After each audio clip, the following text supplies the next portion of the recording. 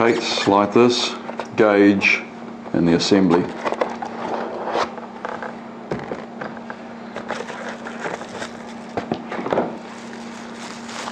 Gauge is uh, dual purpose, bar and PSI.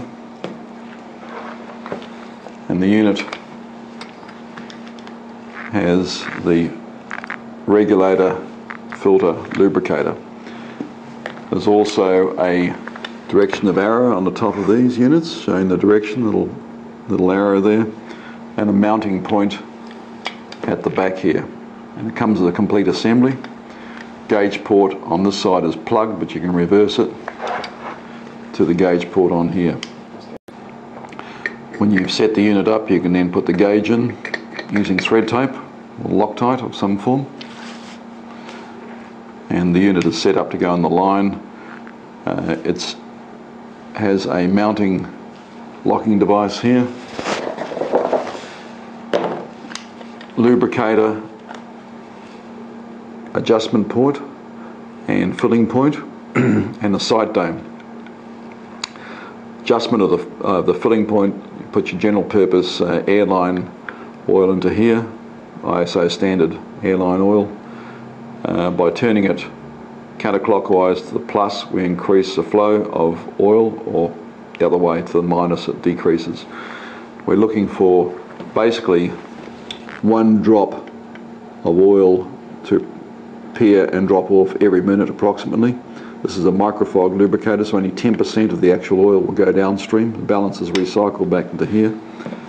Particularly good for airline components that are using um, high-speed operation or just general purpose operation from any form of actuator and valve that's suitable for lubrication.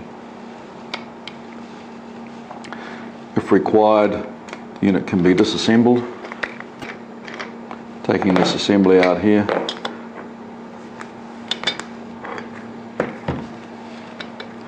There's a little adapter point inside here which has O-rings in it.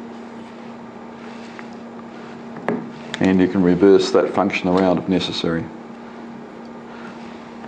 So basically there's two components, the filter regulator and the lubricator. Comes through here, filters, here is filtered and goes up into the regulator, regulates downstream to the lubricator and down, down onto your system. Easy to maintain, you can just undo this, clip it and turn it. Bowl comes off.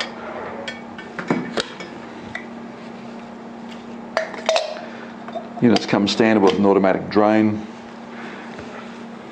As the air comes in, the filter goes around this swirling device, a spinner, uh, the air is spun inside the bowl. As it goes down, the water droplets rotate around the inside of the bowl and go into this quiet zone underneath here where they will drain away through the auto drain system.